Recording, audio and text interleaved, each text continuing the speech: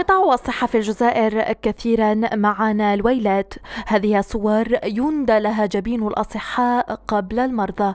أما الحوامل فكثيرا ما سمعنا عن وفاتهن أو وفاة ما في بطونهن أو أدهى وأمر. وعبر مستشفيات هي أقرب للمذابح منها لأماكن الصحة والعافية. أما الفضائح فكثيرة طبية ومعاملاتية وغيرهما.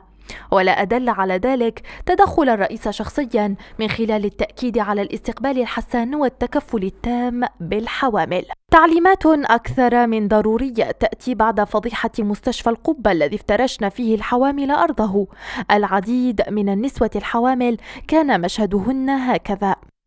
في وقت وجب فيه الوقوف على القطاع ككل وليس على مصلحة واحدة فقط. تعليمات جاءت في بيان مجلس الوزراء كاستدراك لمنظومة صحية أودت بحياة الكثيرين. في وقت كان عليها انتشالهم من براثن المرض حتى أصبحت أبسط وعكة صحية تقتل صاحبها. قطاع الصحة في الجزائر. أكثر قطاعا شهد تهميشا ولا مبالاة على مدار العشرين سنة الماضية مهمشا في وقت كانت تصرف فيه الأموال لإحياء الحفلات عوض إنقاذ الحياة. فلا خير في قطاع يعالج مسؤولوه خارج البلد ولا خير لو بقي على هكذا حال. أما المآل فتفاؤل بتحسين وإصلاح أكبر.